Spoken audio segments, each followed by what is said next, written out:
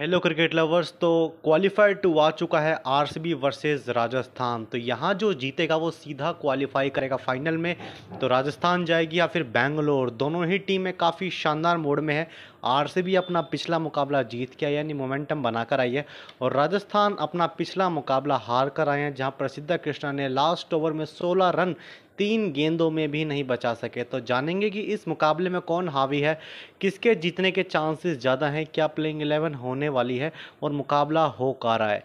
तो जानने के लिए वीडियो में एंड तक जुड़े तो मुकाबला हो रहा है नरेंद्र मोदी स्टेडियम जो कि पहले मोटेरा स्टेडियम के नाम से जाना जाता था जो कि है अहमदाबाद में। काफ़ी शानदार एटमॉस्फेयर सबसे पहले हम बात करते हैं कि वेदर रिपोर्ट क्या रहने वाली है।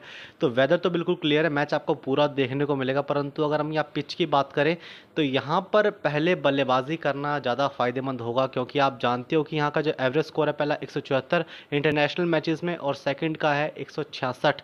यानी कि अगर आप फ़र्स्ट इनिंग में काफ़ी बूस्ट कर देते हो तो आपको चेज़ करवाना बहुत मुश्किल होगा। देन अगर हम यहाँ बात करें, स्पिन को मदद मिल सकती है, बाउंसी पिच चाहिए और यहाँ पर बॉल रुक के तो थोड़ा कमी आएगी और यहाँ पर आपको वेरिएशंस लानी पड़ेगी, नहीं तो बल्लेबाजों के पक्ष में यह पिच जा सकती है। अगर हम आप आईपीएल की बात करें तो यहाँ पर फ़र्स्ट इनिंग का जो एवरेज स्कोर है, वो एक है और सेकेंड इनिंग का एवरेज स्कोर एक सौ सत्तावन।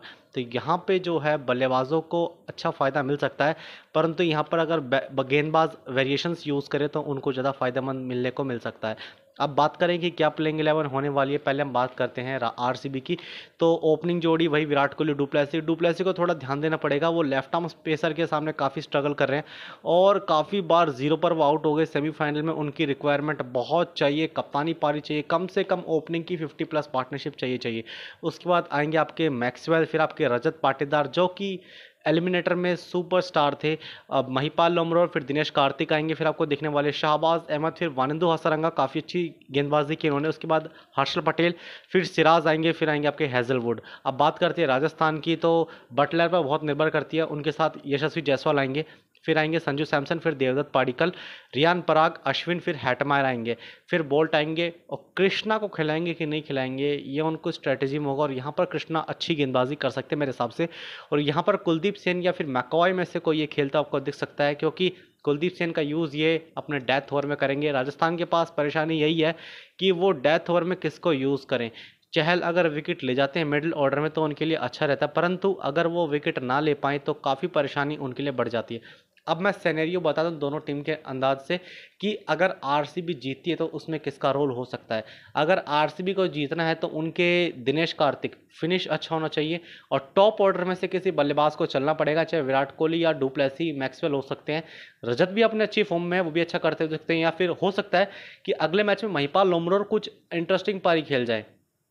अगर गेंदबाजों में बात करें, उनको जीतने तो हर्षल पटेल का रोल बहुत ज़्यादा है और हर बार जब भी आर जीतती ना, उसके अंदर हैज़लवुड कुछ ना कुछ करके जाते हैं और हसरंगा जो है प्रेशर बिल्ड करते हैं और लास्ट के जो डेथ ओवर ओवर में जो गेंदबाजी करते हैं, उनको फ़ायदा होता है। अब हम बात करते हैं राजस्थान की। तो राजस्थान में सबसे बड़ा पॉजिटिव पॉइंट ये है कि उनके कप्तान अच्छी फॉर्म में आ गए हैं एंड बटलर काफ़ी ज़्यादा रोक के खेल रहे हैं। यानी बटलर पर निर्भर तो करती है, परंतु अगर बटलर 150 से ऊपर स्ट्राइक रेट से खेलते हैं तो राजस्थान के बहुत फ़ायदा करते हैं। देवदत्त पाटिकल भी अच्छी हिटिंग करते हैं और यहाँ पर इनके पास प्लस पॉइंट है ट्रेंट बोल्ट ट्रेंट बोल्ट शुरुआती ओवर में विकेट निकालने की कोशिश करते हैं और यजेंद्र चहल भी उनका प्लस पॉइंट है। अगर विकेट निकालें, चहल का साथ देना पड़ेगा अश्विन को और आरसीबी अश्विन को टारगेट करेगी कहीं ना कहीं। अब हम बात करते हैं दोनों टीमों में क्या वीकनेस है। तो आरसीबी की वीकनेस है कि भाई उनके जो मिडल ऑर्डर है ना, उसमें रन काफ़ी ज़्यादा जा रहे हैं और सिराज काफ़ी महँगे जा रहे हैं। जीत तो गए वो लखनऊ से, परंतु काफ़ी ज़्यादा एक्सपेंसिव जा रहे हैं। अब हम बात करें कि राजस्थान के लिए क्या ज़्यादा परेशानी आ रही है? तो इनके में है कि फिनिश कौन करेगा? अश्विन ने मैच जिता दिया, रियान पराग ने जिता दिया हेटमायर ने जिता दिया, परंतु हर बार फिनिश करने में उनको काफ़ी परेशानी आ रही है। और डेथ ओवर में कौन संभालेगा उनकी टीम में? कुलदीप सेन ने भी आपको मुकाबला जिता दिया, आपने उनको ही बाहर कर दिया। तो हर बार तुक्का नहीं लगता। यहाँ पर मैं बताऊँ कि कौन फेवरेट रहने वाली है? तो अगर राजस्थान जीती तो उसमें कहीं ना कहीं रोल बटलर का रहने वाले हैं। बल्लेबाजी में और गेंदबाजी में कहीं ना कहीं बोल्ट या चहल आपको चमकते हुए दिख सकते हैं। तो मेरे हिसाब से जो विनर रहने वाली है, वो रहने वाली है आर सी बी क्योंकि मोमेंटम उनके साथ है। राजस्थान भी जीत सकती है, परंतु मैंने अपनी प्रोडिक्शन दी है। आप कमेंट बॉक्स में ये बताइए कि कौन जीत रही है मुकाबला। एंड वीडियो पसंद आए तो उसको लाइक शेयर सब्सक्राइब ज़रूर करें।